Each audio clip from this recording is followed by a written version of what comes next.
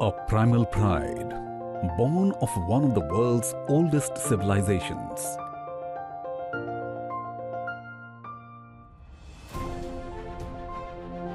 Preserved in the jungles of Chhattisgarh.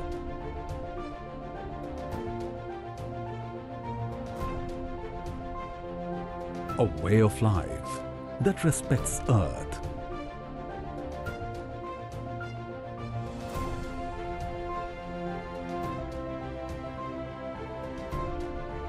That worships Mother Nature.